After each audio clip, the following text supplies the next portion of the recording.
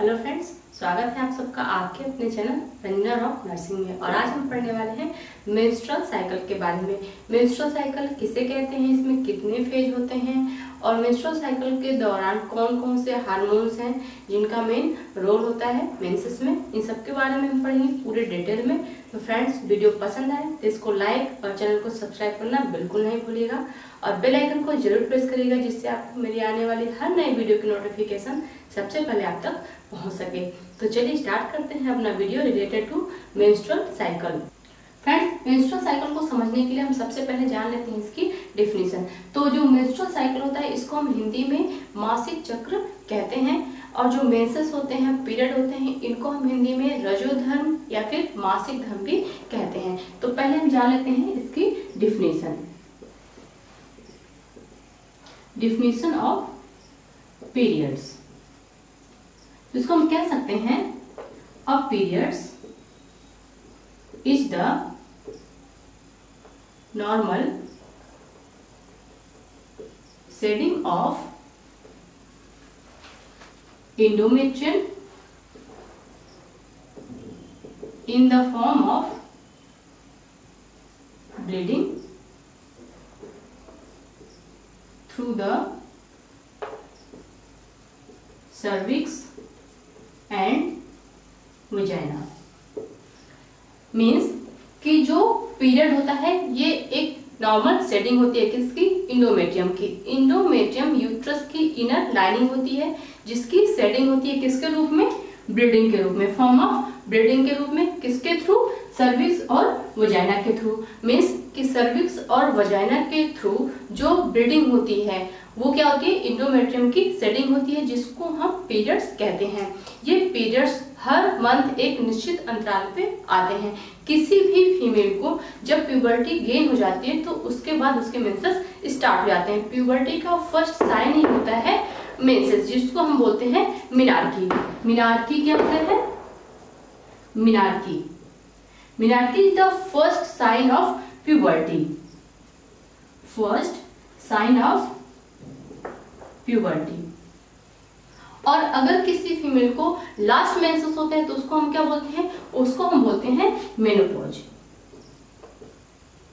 menopause last menses of life मतलब किसी भी फीमेल का किसी भी फीमेल की लाइफ का जो लास्ट मेंसेस होता है, उसको हम बोलते हैं मेनोपॉज प्यूबर्टी की जो एज होती है प्यूबर्टी एज 10 टू 16 ईयर रखी गई है. और reproductive age reproductive age 15 to 45 year रखी गई है. देखिए, जो प्यूबर्टी की एज है और रिप्रोडक्टिव एज है, ये दोनों अलग अलग है. प्यूबर्टी की एज का मतलब होता है कि जब कोई फीमेल प्यूबर्टी को गेन करती है. तो जो प्यूबर्टी को गेन करने का टाइम ड्यूरेशन है ईयर है, वो 10 टू 16 ईयर रखा गया है। इसी समय उसको मेंसेस स्टार्ट होते हैं। नेक्स्ट है रिप्रोडक्टिव एज रिप्रोडक्टिव एज का मतलब होता है कि जब कोई फीमेल कंसेप्शन करने के लिए एबल हो जाती है तो उसको हम बोलते हैं रिप्रोडक्टिव एज जिसमें 15 टू 45 ईयर रखा गया है। और ये पे अगर हम मेनोपॉज की बात करें, कि मेनोपॉज कब एक फीमेल को होता है तो इसके लिए 45 टू 50 ईयर की एज रखी गई है। मतलब 45 टू 50 ईयर के बीच किसी भी फीमेल को मेनोपॉज होता है। मेनोपॉज के बाद फीमेल के जो मेंसेस होते हैं, वो पूरी तरह से बंद हो जाते हैं। अब यही जो लास्ट मेंसेस की बात हम कर रहे थे, एक जगह और ये टर्म यूज़ होता है, जब कोई फीमेल प्रेगनेंसी कंसीव कर लेती है तो उस समय भी हम एलएमपी लिखते हैं। एलएमपी का मतलब होता है लास्ट मेंस्ट्रुअल पीरियड तो वो हम इसलिए लिखते हैं क्योंकि अब जब फीमेल प्रेगनेंसी कंसीव कर लेती है तो मेंसेस स्टॉप हो जाते हैं। उसको हम एमनोरिया कहते हैं। लेकिन जब नाइन मंथ के बाद बेबी डिलीवर हो जाता है तो फिर से मेंसेस स्टार्ट हो जाते हैं। तो वो जो एलएमपी हम लिखते हैं, वो ईडीडी के लिए लिखते हैं। ईडीडी का मतलब होता है एक्सपेक्टेड डेट ऑफ़ डिलीवरी तो उसको हम लोग कैलकुलेट करने के लिए एलएमपी लिखते हैं। अभी यहाँ पे हम मेनोपॉज की बात कर रहे हैं चूँकि हम मेंस्ट्रुअल साइकिल पढ़ रहे हैं। तो मेंस्ट्रुअल साइकिल में जो हम लास्ट मेंस्ट्रुअल पीरियड की बात कर रहे हैं, वो मेनोपॉज है। अब अगर नॉर्मल हम मेंस्ट्रुअल साइकिल की बात करें तो उसको मेडिकल टर्म में क्या कहेंगे? उसको मेडिकल टर्म में कहते हैं यूमेनोरिया यूमेनोरिया का मतलब होता है नॉर्मल मेस्ट्रुअल पीरियड तो यहाँ मैंने देखा कि जो मिनार्की होता है, वो क्या होता है? फ़र्स्ट साइन ऑफ़ प्यूबर्टी मतलब फ़र्स्ट मेंसेस और इसके बाद मेनोपॉज क्या होता है? Last menses of life amenorrhoea क्या होता है? इम्नोरिया होता है लास्ट मेंसेस पीरियड अब जो पीरियड्स होते हैं फीमेल को, उसकी टाइम ड्यूरेशन कितनी होती है? किसी भी फीमेल को 26 टू 30 डेज़ के अंतराल पे मेंस्ट्रुअल साइकिल उसका चलता है। मेंस्ट्रुअल साइकिल किसे कहते हैं? मतलब जो भी मासिक चक्र होता है वो किसे कहते हैं? एक पीरियड से लेके दूसरे पीरियड के बीच जो टाइम ड्यूरेशन होता है, जो समय अवधि होती है, उसी को कहते हैं मेंस्ट्रुअल साइकिल और ये किसी भी फीमेल में 26 टू 30 डेज़ का होता है। अब हम देख लेते हैं कि एक फीमेल को ड्यूरिंग मेंसेस कितना ब्लड लॉस होता है। Blood loss in one menses. ये हम सिर्फ़ एक मेंसेस की बात कर रहे हैं कि एक मेंसेस पे किसी फीमेल को कितना ब्लड लॉस होता है। अगर हम एवरेज की बात करें तो एवरेज में 20 टू 80 एम ब्लड लॉस होता है एक फीमेल को एक मेंस्ट्रुअल साइकिल में। और अगर एवरेज की बात करें तो 35 एम ब्लड लॉस होता है किसी भी फीमेल को एक मेंस्ट्रुअल साइकिल में। जो फीमेल होती है, उसको वन ईयर में थर्टीन मेंसेस आते हैं। कितने? थर्टीन मेंसेस आते हैं।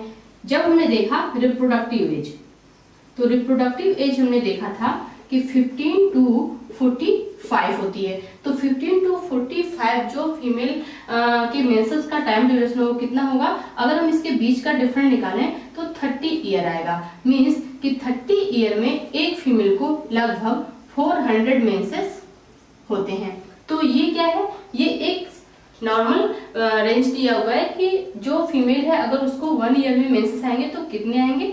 थर्टीन मेंसेस आएँगे। और अगर हम रिप्रोडक्टिव एज से लेते हैं कि जब फीमेल का रिप्रोडक्टिव एज स्टार्ट होती है, वहाँ से उसको लाइफ टाइम कितने मेंसेस आते हैं? तो उसको लगभग 400 मेंसेस आते हैं। मेंस्ट्रुअल साइकिल रिलेटेड होता है किससे? प्यूबर्टी से। तो प्यूबर्टी की जो स्टेज है, उनको पढ़ना भी ज़रूरी है, जिससे बिल्कुल क्लियर हो जाए। तो जो प्यूबर्टी होती है, उसकी जो नॉर्मल एज होती है, वो मैंने आपको बताई अभी कि थर्टीन टू 16 ईयर फीमेल में रखी गई है प्यूबर्टी की एज इसके साथ ही जो प्यूबर्टी की स्टेज होती है, वो कितनी होती है? फाइव होती हैं।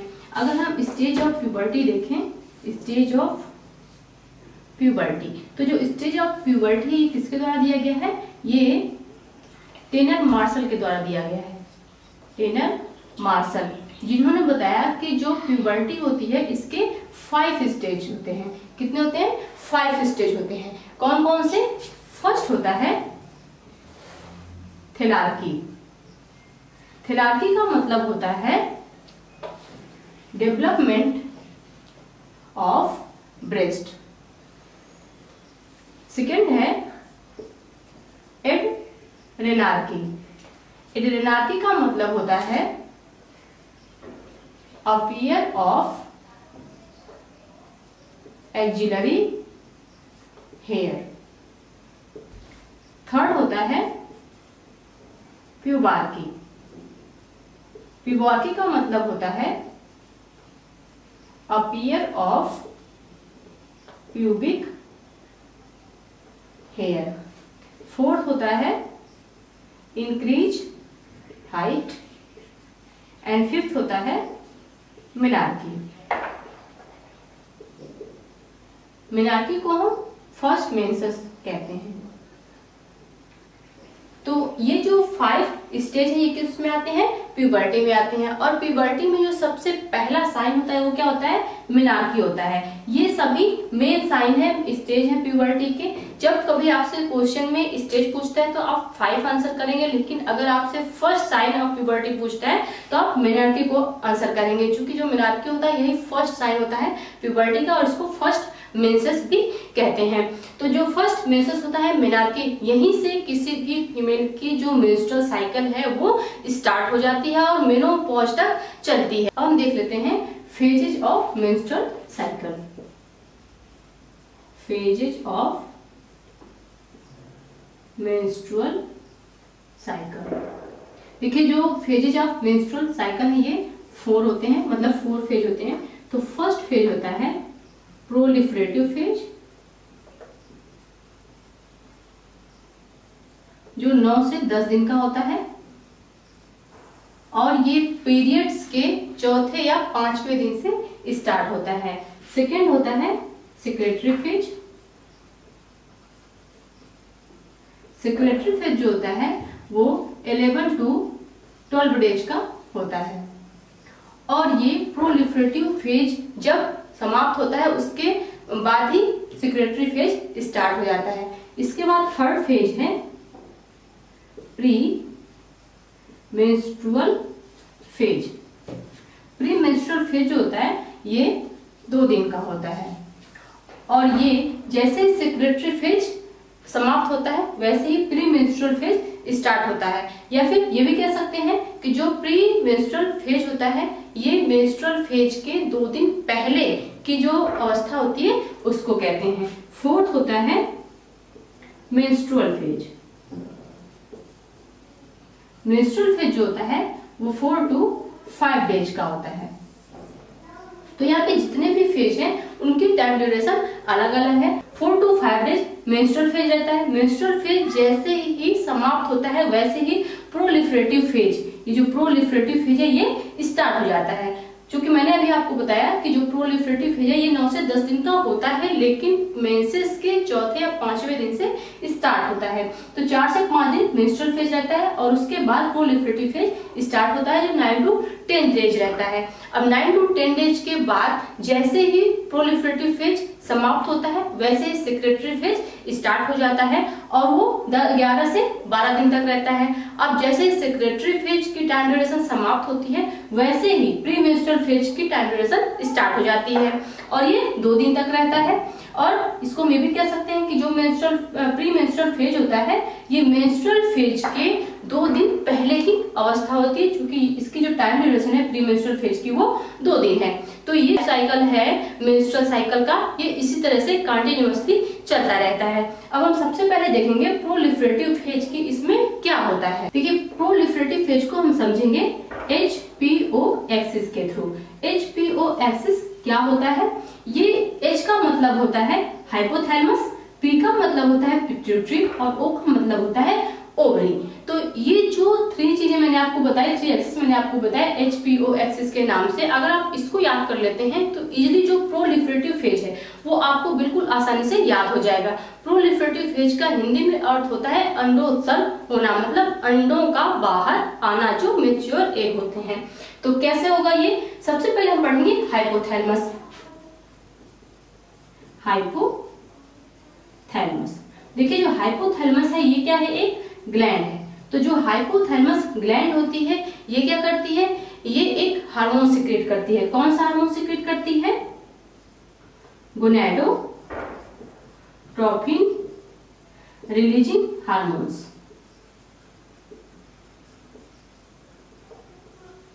ये कौन सिक्रेट करता है? हाइपोथैलेमस ग्लैंड हाइपोथैलेमस ग्लैंड दो तरह के हार्मोन सिक्रेट करती है। एक होता है गोनेडोट्रोपिन रिलीजिंग हार्मोन्स और एक होता है गोनेडोट्रोपिन इनहिबिटिंग हार्मोन्स तो यहाँ पे क्या हो रहा है? गोनेडोट्रोपिन रिलीजिंग हार्मोन्स सिक्रेट कर रहा है कौन? जो हाइपोथैलेमस ग्लैंड होती है, वो रिलीजिंग का मतलब होता है किसी चीज़ का बाहर आना। मतलब किसी भी चीज़ को बाहर आने के लिए क्या कर रही है? स्टिमुलेट कर रही है। तो जो हाइपोथैलेमस ग्लैंड है, जब ये गोनेडोट्रोपिन रिलीजिंग हार्मोन्स सिक्रेट करती है तो इसका सीधा इफ़ेक्ट पड़ता है किस पे? पिट्यूटरी ग्लैंड पे, जो एंटीरियर पिट्यूटरी ग्लैंड होती है।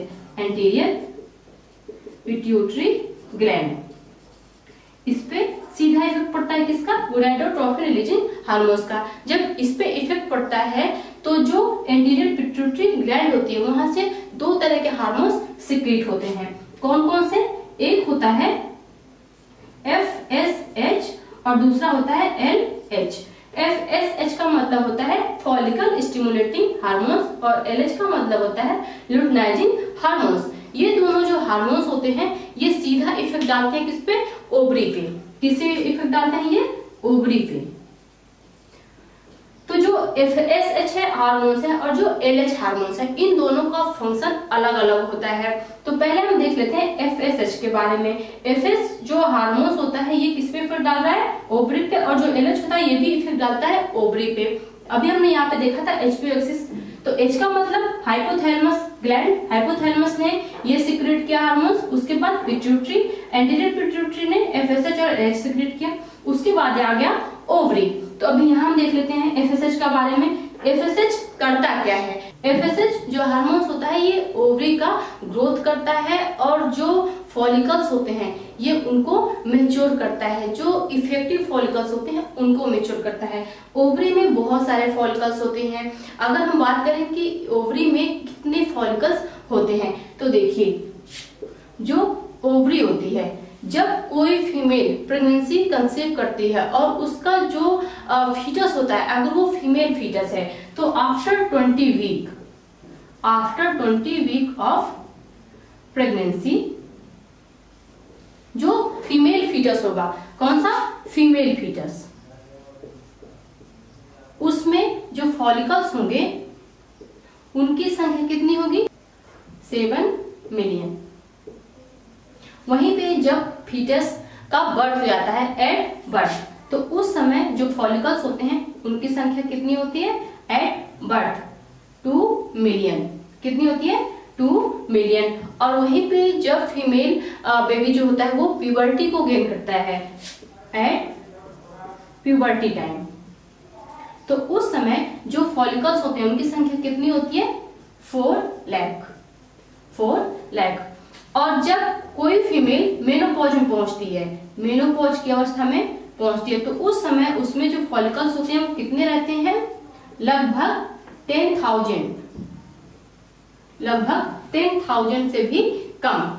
तो यहाँ पे देखिए, जो फॉलिकल्स हैं, इनका निर्माण तभी होने लगता है ओवरी में, जब कोई female foetus during pregnancy 20 week का होता है। तो 20 वीक के दौरान ही ओवरी में जो फॉलिकल्स होते हैं, उनका निर्माण होने लगता है और उस समय उसकी जो संख्या होती है वो सेवन मिलियन होती है। एट बर्थ जब बेबी डिलीवर होता है तो उसके बाद उसके ओवरी में टू मिलियन फॉलिकल्स रहते हैं और जब वहीं पे वो प्यूबर्टी गेन करता है तो उस समय फोर लाख फॉलिकल्स बचे रहते हैं और मेनोपॉज के समय लगभग दस हज़ार से भी कम फॉलिकल्स पाए जाते हैं। तो ये जो फॉलिकल्स होते हैं, इन्हीं के द्वारा जो मेच्योर एग होता है, वो तैयार होता है। तो यहाँ पे हम बात कर रहे थे कि जब F S H hormones secrete होता है एंटीरियर पिट्यूटरी ग्लैंड के थ्रू तो ये किस पे इफ़ेक्ट डाल रहा है? ओवरी पे। ये ओवरी पे इफ़ेक्ट डालता है कि जो ओवरी होती है उसका ग्रोथ होता है और इसके साथ ही जो एग होते हैं, जो फॉलिकल्स होते हैं, वो क्या होते हैं? मेच्योर होते हैं। इसमें से सभी जो फॉलिकल्स हैं वो मेच्योर नहीं होते हैं, जो इफ़ेक्टिव फॉलिकल्स होता है, वही मेच्योर होता है, जिसको हम बोलते हैं ग्रोविंग फॉलिकल्स क्या बोलते हैं? ग्रोविंग फॉलिकल्स और ये ग्रोविंग फॉलिकल्स जब मेच्योर हो जाता है तो इसको हम बोलते हैं ग्रेफियन फॉलिकल्स क्या बोलते हैं? ग्रेफियन फॉलिकल्स और ये सब किसकी वजह से हो रहा है? एफएसएच हार्मोन्स की वजह से हो रहा है। जब ग्रोविंग फॉलिकल्स ग्रेफियन फॉलिकल्स में कन्वर्ट होता है मेच्योर होके तो इसके बाद ये एक हार्मोन सिक्रेट करता है। कौन सा hormones oestrogen hormones oestrogen hormones.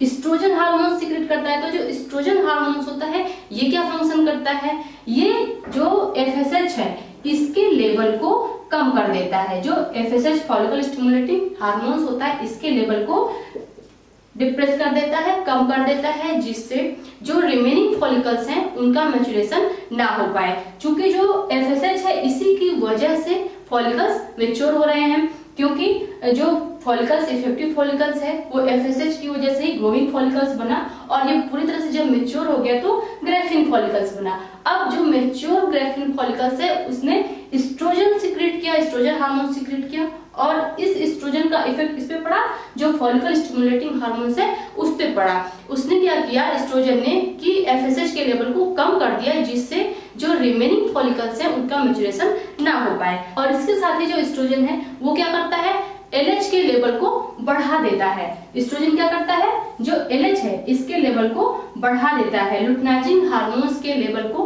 बढ़ा देता है। क्यों बढ़ा देता है? क्योंकि जो लुटनाइजिंग हार्मोन्स होता है, यही अब आगे का फ़ंक्शन करेगा। एफएसएच का फ़ंक्शन बस यही तक था कि वो जो फॉलिकल्स है, उनको मेच्योर करे। अब एलएच जो होगा लुटनाइजिंग हार्मोन्स होगा, अब इसका फ़ंक्शन स्टार्ट होगा।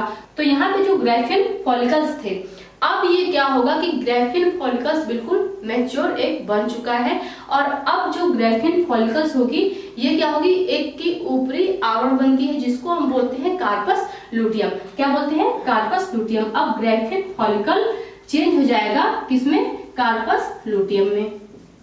कार्पस लुटियम में चेंज हो जाएगा। अब ये कार्पस लुटियम क्या है? कार्पस लुटियम जो एग है ओवम है, उसका बाहरी आवरण है, जिसको हम कार्पस लुटियम कहते हैं। आफ्टर मेचुरेशन जब ग्रेफिन फॉलिकल्स बनता है तो यही कन्वर्ट होता है किसमें? कार्पस लुटियम में। अब कार्पस लुटियम क्या होगा कि ये रप्चर होगा। ये कैसे रप्चर होगा? जब एल का लेवल लुटनाजिंग हार्मोन्स का लेवल बढ़ेगा तो जो कार्पस लुटियम है, ये क्या होगा? रक्चर होगा। और जब ये रक्चर होगा, तभी एक मेच्योर एक बाहर आएगा। जब एक मेच्योर एक बाहर आता है किससे? ओवरी से।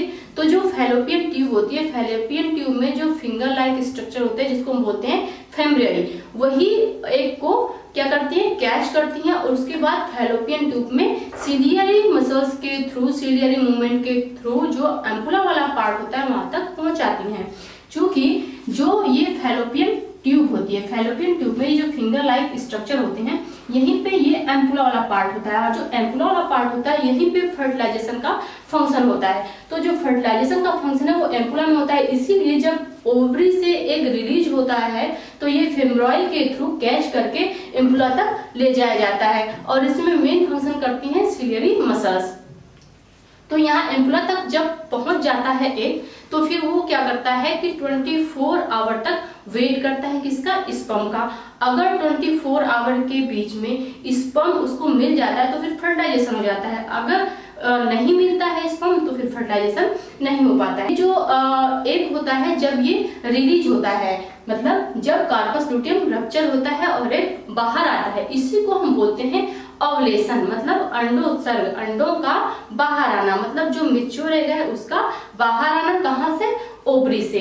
तो कॉर्पस लुटियम रप्चर क्यों हो रहा है? जो लुटनाइजिंग हार्मोन्स है, इसके लेवल के बढ़ने की वजह से कार्पस लुटियम रप्चर हो रहा है और मेच्योरेट बाहर आ रहा है। इसके साथ ही जो एस्ट्रोजन होता है, इसका एक और फ़ंक्शन होता है। इसका एक और फ़ंक्शन ये होता है कि जो एस्ट्रोजन हार्मोन्स होता है, ये जो इंडोमेट्रियम की फंक्शनल लेयर होती है, उसको क्या करता है कि प्रिपेयर करता है, किस लिए? जो कंसेप्शन का प्रोडक्ट है, उसको इम्प्लांट करने के लिए। और उस समय जो इंडोमेट्रियम होती है, वो बहुत ज़्यादा वैस्कुलर हो जाती है थिक हो जाती है, क्योंकि वहाँ पे जो ब्लड सप्लाई है, वो बहुत ज़्यादा बढ़ जाती है। तो जो इंडोमेट्रियम होती है, उसमें भी जब ये कार्पस लूटियम रप्चर होता है तो उस समय जो स्ट्रोजन है, वो अपना कंटिन्यूसली फ़ंक्शन करता रहता है। और इंडोमेट्रियम की जो फंक्शनल लेयर है उसमें थ्री लेयर्स का निर्माण होता है। कौन कौन सी थ्री लेयर्स होती हैं उसमें? फ़र्स्ट होती है बेसल लेयर सेकेंड होती है फंक्शनल लेयर एंड थर्ड होती है स्पॉन्जी लेयर ठीक है बिफोर कंसेप्शन जब कंसेप्शन नहीं हुआ रहता है, उस समय मतलब नॉन प्रेग्नेंट स्टेज में जो इंडोमेट्रियम होती है, उसकी थिकनेस टू एम mm होती है। कितनी होती है? टू एम mm होती है। लेकिन जब कोई फीमेल कंसेप्शन कर लेती है तो उस समय जो इंडोमेट्रियम की थिकनेस है, वो 3.5 पॉइंट mm हो जाती है मतलब बढ़ जाती है। तो यहाँ पे हम बात कर रहे थे बसल लेयर फंक्शनल लेयर और स्पंजी लेयर की। ये सभी क्या है? इंडोमेट्रियम की लेयर्स है। तो जो फंक्शनल लेयर होती है, वो वन एम mm थिक हो जाती है जो स्पंजी लेयर होती है, वो two point five M thick हो जाती है। तो ये जो थिकनेस होती है फंक्शनल लेयर की वन एम और स्पंजी लेयर की 2.5 mm यही मिला के बनता है 3.5 mm ये ड्यूरिंग प्रेगनेंसी जो इंडोमेट्रियम की थिकनेस है, उसकी हम बात कर रहे हैं और ये 2 mm नॉन प्रेग्नेंट स्टेज की बात कर रहे हैं। तो ये सब किसके लिए तो होता है? जो एस्ट्रोजन हार्मोन्स होता है, उसके इफ़ेक्ट की वजह से होता है। तो जो प्रोलिफरेटिव फ़ेज़ है प्रोलिफरेटिव फ़ेज़ उसमें जो फ़ेज़ होता है, वो कहाँ तक का होता है? कार्पस लुटियम जैसे ही रप्चर हुआ। रप्चर होने के बाद जो एग है वो रिलीज़ हुआ, जिसको हम बोलते हैं ऑवलेसन ऑवलेसन तक का जो प्रोसेस है वो किसमें होता है? प्रोलिफ्रेटिव फ़ेज़ में. अब इसके आय का जो प्रोसेस है वो हम किसमें पढ़ेंगे? सेक्रेटरी फ़ेज़ में. और फ्रेंड्स कहीं कहीं पूछा जाता है कि ऑवलेसन कब होता है? तो ऑवलेसन पीरियड के चौदहवें दिन होता है। कब होता है? चौदहवें दिन होता है। क्योंकि मैंने आपको बताया कि जो प्रोलिफरेटिव फ़ेज़ होता है, ये नाइन टू टेन डेज़ का होता है और ये मेंस्ट्रुअल फ़ेज़ के चौथे या पाँचवें दिन से स्टार्ट होता है। तो अगर हम मेंस्ट्रुअल फ़ेज़ के जो फ़र्स्ट डे है, वहाँ से काउंट करें तो फोर डे हो गया मेंस्ट्रुअल फ़ेज़ का और अगर हम प्रोलिफरेटिव फ़ेज़ को लें तो टेन डेज़ हो गया प्रोलिफरेटिव फ़ेज़ का। टोटल कितना हो गया? फोर्टीन डेज़ तो जो चौदहवा दिन होता है, उसी दिन क्या होता है कि ओवलेशन होता है। ओवलेशन में किसी किसी फीमेल को पेन होता है, उस पेन को मेडिकल टर्म में कहते हैं मिटल स्टिमर्ज साइन ये बहुत ही इंपॉर्टेंट मेडिकल टर्म है, क्योंकि अधिकतर एग्ज़ाम में पूछा जाता है कि जो मिडल स्टिमर्ज साइन है, ये किससे रिलेटेड है? तो जो मिडल स्टिमर्ज साइन है, ये प्रोलिफरेटिव फ़ेज़ से रिलेटेड है और ये ओवलेशन के समय होने वाला पेन है, जिसको कोई भी फीमेल नॉर्मली फील करती है। तो यहाँ पे हम बात कर रहे थे ओवलेशन की। ओवलेशन में क्या हुआ कि मेच्योर एग बाहर आ गए। अब जो मेच्योर एग होते हैं, उनको कितना टाइम लगता है मेच्योर होने में? तो लगभग थर्टीन डेज़ का टाइम लगता है किसी भी एक को मेच्योर होने में। ये भी एक क्वेश्चन बनता है। बहुत बार एग्ज़ाम में पूछा भी गया है कि जो ओवलेशन के समय एक रिलीज़ होता है, उसको मेच्योर होने में कितना टाइम लगता है? तो उसको थर्टीन डेज़ का समय लगता है मेच्योर होने में। और जो ओवलेशन का टाइम ड्यूरेशन होता है, वो कितना होता है? के चौदहवें दिन क्या होता है कि ओवलेशन होता है। अब हम देख लेते हैं सिक्रेटरी फ़ेज़ अभी तक हमने पढ़ा प्रोलिफ्रेटिव फ़ेज़ प्रोलिफरेटिव फ़ेज़ इसमें क्या था कि जो हाइपोथैलेमस ग्लैंड थी, वहाँ से उसका फ़ंक्शन स्टार्ट हुआ और ओवलेशन तक चला। तो जो ओवलेशन तक का प्रोसेस था, वो हमने किसमें पढ़ा? प्रोलिफरेटिव फ़ेज़ में। इसके बाद जो कार्पस लूटियम रप्चर हुआ था, वहाँ से जो प्रोसेस होगा, वो हम किसमें पढ़ेंगे? जो सेकेंड फ़ेज़ है सिक्रेटरी फ़ेज़ उसमें। सिक्रेटरी फ़ेज़ सिक्रेटरी फ़ेज़ कहाँ से स्टार्ट होता है? ये स्टार्ट होता है कार्पस लूटियम से। Corpus luteum. जो कार्पस लुटियम रप्चर हुआ था और वहाँ से एक रिलीज़ हुआ था, वही कार्पस लूटियम है, यहीं से सिक्रेटरी फ़ेज़ स्टार्ट होता है। इसको सिक्रेटरी फ़ेज़ क्यों कहते हैं? इसलिए कहते हैं कि जो रप्चर कार्पस लुटियम है, वो हार्मोन्स सिक्रेट करता है। इसीलिए इसको सिक्रेटरी फ़ेज़ भी कहते हैं। तो जो कार्पस लुटियम है, ये दो तरह के हार्मोन्स सिक्रेट करता है। फ़र्स्ट होता है प्रोजेस्टेरॉन एंड सेकेंड होता है स्ट्रोजन जब स्टार्टिंग पीरियड रहता है तो उस समय जो कार्पस लुटियम होता है, वो प्रोजेस्ट्रॉन का लेवल ज़्यादा सिक्रेट करता है, जो एस्ट्रोजन होता है, इसका लेवल कम सिक्रेट करता है।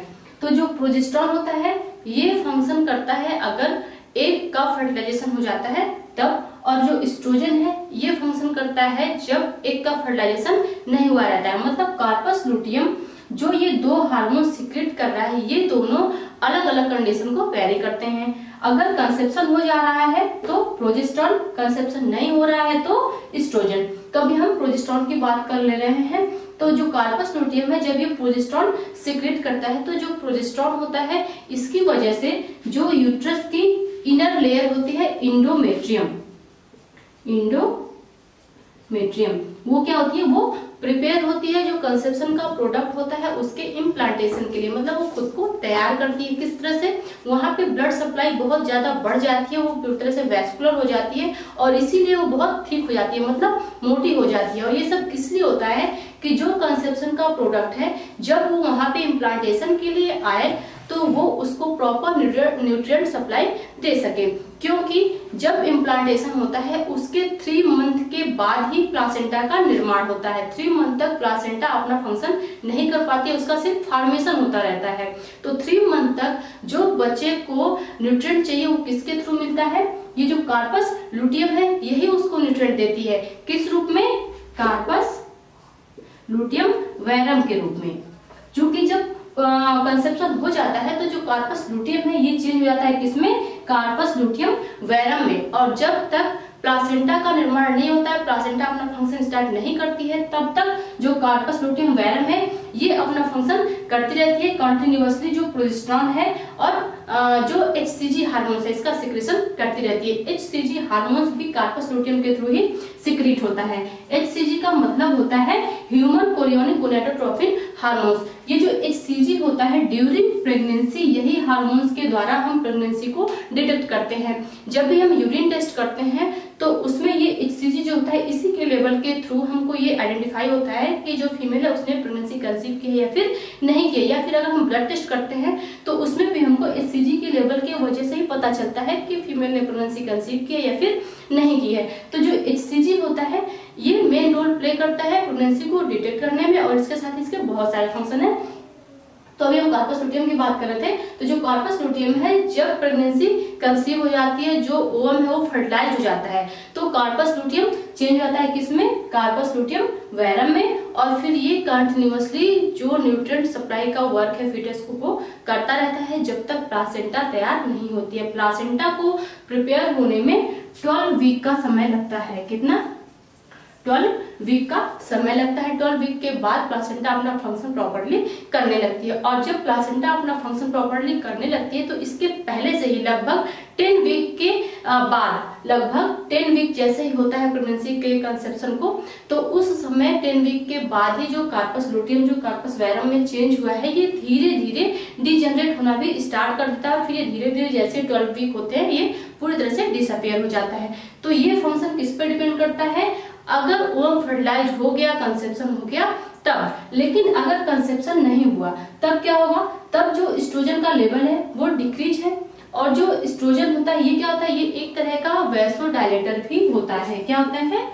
वैसो डायलेटर होता है। वैसो डायलेट का मतलब होता है कि जो ब्लड वेसल्स होती हैं, उनको डायलेट करना। तो जो स्ट्रोजन होता है, जब इसका लेवल कम होगा, कब कम होगा? जब कार्पस लुटियम मतलब जो एग है, वो फर्टिलाइज नहीं होगा। तो उस समय जब स्ट्रोजन का लेवल कम होगा कार्पस लुटियम के थ्रू तो जो स्ट्रोजन है, जब उसका लेवल कम होगा तो ये वैसो डायलेटर है। लेकिन जब इसका लेवल कम होगा तो ये किसका फ़ंक्शन करने लगेगा? वैसो कॉन्स्ट्रिक्टर का। वैसो कॉन्स्ट्रिक्टर का। जब ये वैसो कॉन्स्ट्रिक्टर का फ़ंक्शन करेगा तो जो भी ब्लड वेसल्स होंगी, वो क्या होंगी? कॉन्स्ट्रिक्ट हो जाएँगी। किसकी ब्लड वेसल्स जो यूट्रस होगा, उसकी ब्लड वेसल्स कॉन्स्ट्रिक्ट हो जाएँगी, जिसकी वजह से जो यूट्रस के सेल्स हैं, वो क्या होंगे? उनको प्रॉपर ब्लड सप्लाई नहीं मिल पाएगा ऑक्सीजन की सप्लाई नहीं मिल पाएगी, जिसकी वजह से जो यूट्रस की लेयर है, उसमें क्या होगा? हाइपोक्सिया होगा। हाइपोक्सिया होगा। इस्चीमिया होगा। तो इस तरह से जो वैसो कॉन्स्ट्रिक्टर है, इसकी वजह से जो भी यूट्राइन ब्लड वेसल्स होती हैं, उनमें हाइपोक्सिया और इस्चीमिया की कंडीशन होती है, जिसकी वजह से जो यूट्रस की सेल्स होती हैं, वो क्या होने लगती हैं? वो डेड होने लगती हैं। जब यूट्रस की सेल डेड होने लगती हैं तो फिर इनकी क्या होती है? सेडिंग स्टार्ट हो जाती है। क्या स्टार्ट हो जाती है? सेडिंग स्टार्ट हो जाती है। सेडिंग को ब्रीडिंग भी कहते हैं। और ये जो सेडिंग होती है, ये बाहर नहीं आती, बल्कि ये यूट्रस में ही कलेक्ट होने लगती है। और इसको एक टर्म भी दिया गया, जिसको हम बोलते हैं हिमैटोमेट्रा हिमैटोमेट्रा हिमैटोमेट्रा का मतलब होता है blood collection in the uterus तो यूट्रस में जो हिमैटोमेट्रा के रूप में ब्लड कलेक्ट हो रहा है, वो किस वजह से हो रहा है? प्रॉपर ब्लड नहीं मिलने की वजह से जो सेल डेड हो रही हैं, वो सेडिंग के रूप में ब्लीडिंग के रूप में क्या हो रही है? टूट रही है, जिसकी वजह से हिमेटोमेट्रा के रूप में ब्लीडिंग के रूप में वो कलेक्ट हो रही है यूट्रस में। अब जब यूट्रस में ब्लड कलेक्शन हो जाता है तो उसके बाद क्या होता है कि जो ब्लड कलेक्शन हुआ है हिमेटोमेट्रा के रूप में, ये क्या करता है कि नर्व सप्लाई करता है। नर्व सप्लाई के थ्रू जो हाइपोथैलमस है, उसको मैसेज भेजता है। क्या करता है? नर्व सप्लाई जो भी नर्व सप्लाई हो रही है, उसके थ्रू जो हाइपोथैलमस है, उसको मैसेज भेजता है हाइपोथैलमस को। तो जो हाइपोथैलमस होता है, ये फिर जो पोस्टीरियर पिट्यूटरी ग्लैंड होती है, उसको स्टिमुलेट करता है। किसको? जो पोस्टीरियर पिट्यूटरी ग्लैंड होती है। जब पोस्टीरियर पिट्यूटरी ग्लैंड को हाइपोथैलमस स्टिमुलेट करता है तो वहाँ से एक हार्मोन सिक्रिट होता है, जिसको बोलते हैं ऑक्सीटोसिन जिसको बोलते हैं ऑक्सीटोसिन हमने जब पढ़ा था प्रोलिफरेटिव फ़ेज़ तो प्रोलिफरेटिव फ़ेज़ में जो हाइपोथैलमस था, वहाँ से जब गोनेडोट्रोपिन हार्मोन्स रिलीज़ हो रहा था तो वो इफ़ेक्ट डाल रहा था किस पे? एंटीरियर पिट्यूटरी ग्लैंड पे, जहाँ से दो हार्मोन्स रिलीज़ हो रहे थे एफएसएच और एलएच लेकिन यहाँ पे पोस्टीरियर पिट्यूटरी ग्लैंड है। हाइपोथैलेमस किसको स्टिमुलेट कर रहा है? पोस्टीरियर पिट्यूटरी ग्लैंड को। और पोस्टीरियर पिट्यूटरी ग्लैंड से क्या रिलीज़ हो रहा है? ऑक्सोटोसिन तो यहाँ पे भी आपके दो क्वेश्चन बन गए कि जो एंटीरियर पिट्यूटरी ग्लैंड है, उससे कौन से हार्मोन सिक्रिट होते हैं? और जो पोस्टीरियर पिट्यूटरी ग्लैंड है, उससे कौन से हार्मोन सिक्रिट होते हैं? तो यहाँ पे पोस्टीरियर पिट्यूटरी ग्लैंड से ऑक्सोटोसिन सिक्रिट हुआ। अब जब ऑक्सोटोसिन सिक्रिट हुआ तो ये इंडोमेट्रियम की जो मायोमेट्रियम लेयर होती है, उसमें क्या होता है? कॉन्ट्रैक्शन करता है, जो कि ऑक्सीटोसिन का वर्क ही होता है कॉन्ट्रैक्शन करना। तो जो यूट्रस की मस्कुलर लेयर होती है, जिसको हम मायोमेट्रियम बोलते हैं तो ये मायोमेट्रियम में जब कॉन्ट्रैक्शन करता है तो जो ब्लड कलेक्शन हुआ है यूट्रस में हिमेटोमेट्रा के रूप में, वो क्या करता है? वजाइनल ट्रैक के थ्रू बाहर आता है। लेकिन ये किसमें होता है? जब मेंस्ट्रुअल फ़ेज़ होता है, तब होता है तो यहाँ तक का जो प्रोसेस है मतलब ऑक्सोटोसिन सिक्रेट हो रहा है, फिर वो अपना फ़ंक्शन कर रहा है। तो यहाँ तक का जो प्रोसेस है, वो किसमें है? सिक्रेटरी फ़ेज़ में। इसके बाद आता है प्री मेंस्ट्रुअल फ़ेज़ थर्ड क्या है? थर्ड है pre menstrual phase pre menstrual phase मैंने आपको बताया कि टू डेज़ का होता है। तो टू डेज़ में जो ये ऑक्सोटोसिन है, ये अपना फ़ंक्शन करता है। ऑक्सोटोसिन जो मायोमेट्रियम लेयर होती है मसल मस्कुलर लेयर होती है यूट्रस की, उसको क्या करता है? कॉन्ट्रेक्शन प्रोवाइड करता है। जब उसमें कॉन्ट्रेक्शन होते हैं तो जो ब्लड कलेक्ट हुआ है यूट्रस में हिमेटोमेट्रा के रूप में, वो क्या होता है? वो प्रिपेयर होने लगता है बाहर आने के लिए वजाइनल ट्रैक के थ्रू तो जो प्री मेंस्ट्रुअल फ़ेज़ है, दो दिन का, इसी में ये ऑक्सोटोसिन अपना फ़ंक्शन करता है और आफ्टर टू डेज़ फिर फोर फ़ेज़ स्टार्ट हो जाता है, जिसको हम बोलते हैं मेंस्ट्रुअल फ़ेज़ जो फोर टू फाइव डेज़ का होता है। इसी फोर टू फाइव डेज़ में जो ब्लड कलेक्शन हुआ है हेमेटोमेट्रा के रूप में यूट्रस में, वो क्या होता है? वज़न ट्रैक के थ्रू बाहर आता है, जिसको हम बोलते हैं मेंसेस या फिर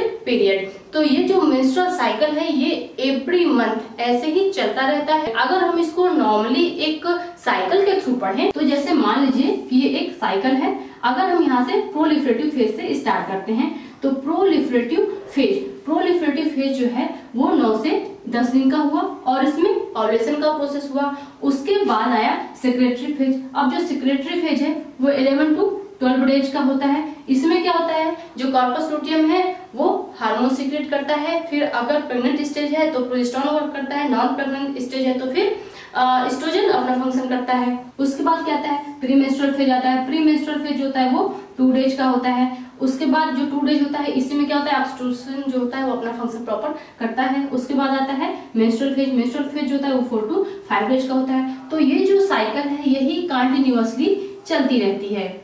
इसी को बोलते हैं मेंस्ट्रुअल साइकिल तो फ्रेंड्स आई होप कि आज की वीडियो आपको बहुत अच्छे से समझ में आई होगी। बहुत सारे क्वेश्चन और बहुत सारे डाउट्स आपके इसमें क्लियर हो गए होंगे। तो मिलते हैं अपने अगले वीडियो में। तब तक के लिए मेरे सभी दोस्तों को थैंक यू सो मच